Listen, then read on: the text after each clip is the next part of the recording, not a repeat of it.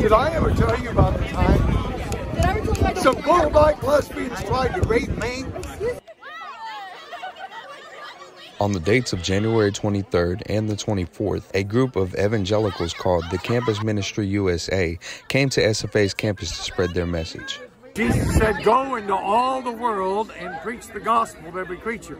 He that believes and is baptized will be saved, he that doesn't believe shall be damned. So we're here to warn people. We don't want anybody going to hell. We want everyone going to heaven.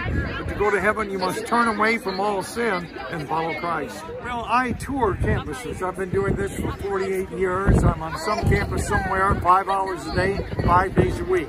Last week we were at Louisiana State. Tuesday at University of Houston. Wednesday at Sam Houston State.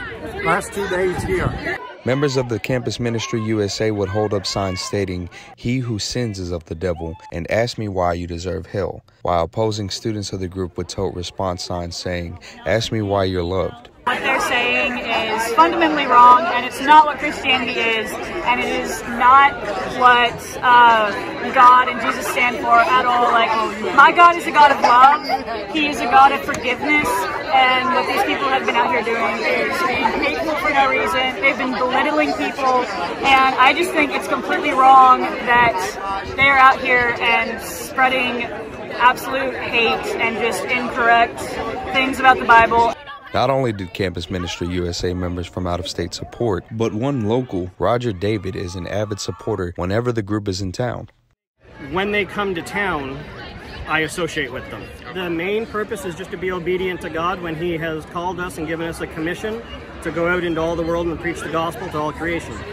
So our main goal is just obedience to God in doing that. The secondary goal is there's a lot of students here that are suffering, that are in pain because of the sin in their life, and we want to draw them away from that sin, call them to repentance and faith in Jesus Christ so that they can live in freedom and not have to suffer the consequences, not just temporarily on, in, in this life, but in the afterlife. Campus Ministry's two day plan of spreading their message to SFA has ended. And since then, Dean of Student Affairs Dr. Adam Peck has responded to the matter with, quote, No one deserves to be spoken to the way that these individuals have spoken to our students. Many of the things they have said are vile and deeply offensive to me and as to why the group was allowed on campus, in short answer, we had no choice. Peck also mentions he was proud of students for standing up to the group and living their values, but also afraid that the group seemed to be most intent on creating havoc and expects the campus to return to a sense of normalcy now that the group has left. For the Pine Log, I'm Jimmy Delos Santos.